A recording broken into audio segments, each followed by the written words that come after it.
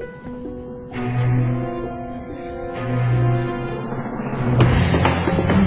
was madness, a wild and reckless risk. But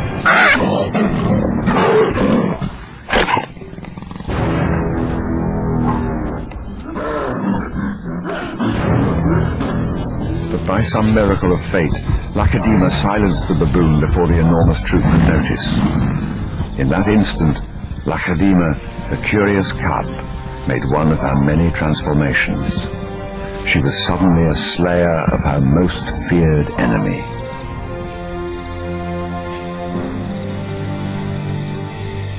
Quite suddenly, this already momentous kill took an amazing twist. Something moved in the dead baboon's fur. A day-old newborn.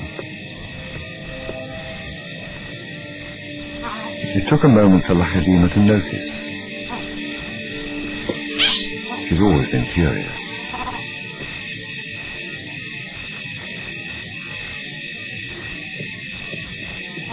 But instead of a swift bite to the neck, Legadema stopped, then lay down with the baboon. She didn't know how to react.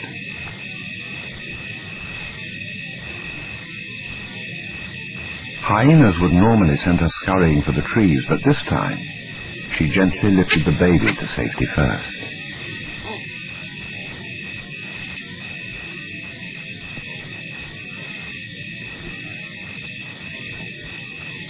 Only then did she return to confront the hyena. It was an aggressive defense, protecting the baby, not defending her kill.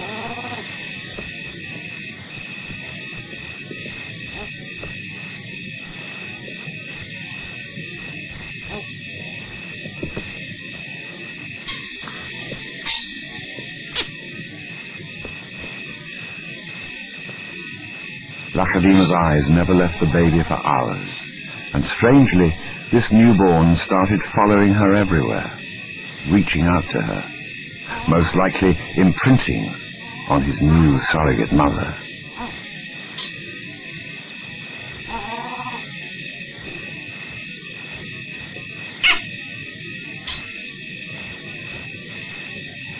And Legadema seemed to be caught up in her own internal conflict a young leopard at a confusing crossroads of life, torn between being a predator and an inquisitive cub.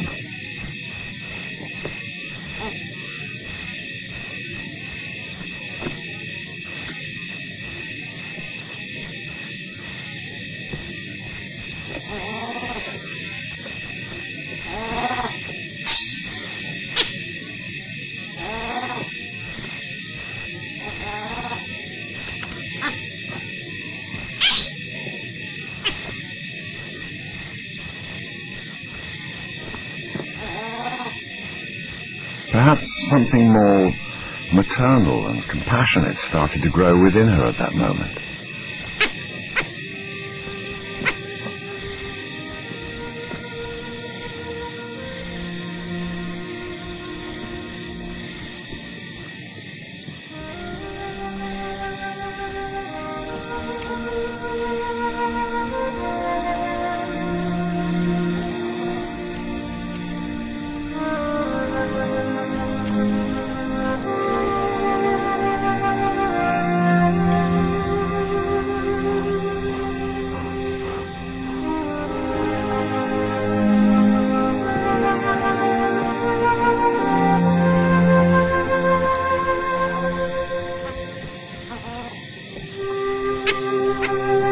Finally, both settled down to sleep, exhausted by the event, cuddling for hours against the winter chill.